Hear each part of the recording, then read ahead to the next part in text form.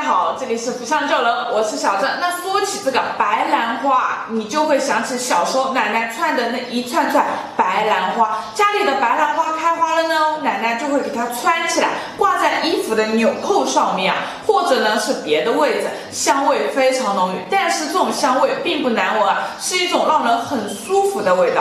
那今天呢，小郑盆栽的这个白兰花就开花了。那它。因为小郑买的时候啊，这个小苗呢，那时候已经五月份了，天气那时候已经有些热了，所以这个植株啊，为了自保，种下去之后，下面的这部分叶子都被放弃掉了。虽然现在看上去有些稀疏啊，但是完全不影响它的生长，后续呢，这些叶子也都会继续长出来的。白兰在叶叶处开花，花朵呢小小的，是一个洁白色。后续啊还会有花朵呢从这个叶叶处啊长出来。现在这些芽点虽然是小小的，但其实都是花芽。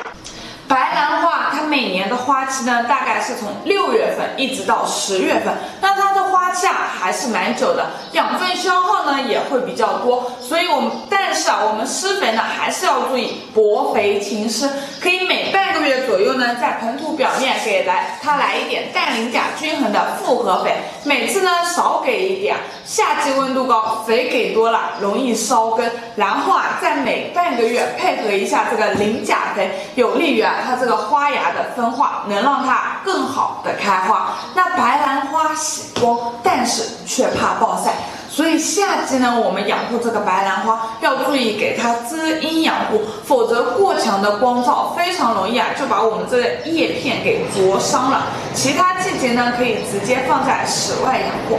白兰花呢是喜欢湿润的生长环境，但是也要注意啊，避免积水。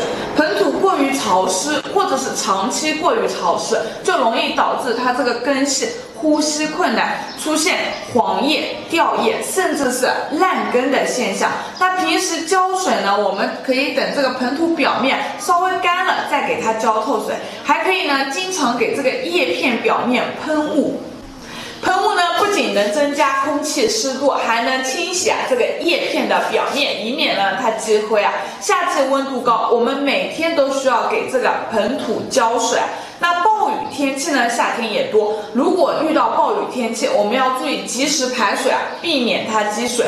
那白兰喜欢酸性土壤的花卉，我们浇水的时候可以每个月啊混合一次硫酸亚铁。一比一千的比例，尤其是北方的花友啊，这样能有效的避免缺铁性黄叶的发生。那养护白兰花呢，还有一个小技巧，花期我们可以尽量避免淋雨，因为淋雨啊会让这个白兰花的香味啊变淡，反而你如果光照越充足，它这个香味呢就会越浓郁。今天啊，关于这个白兰。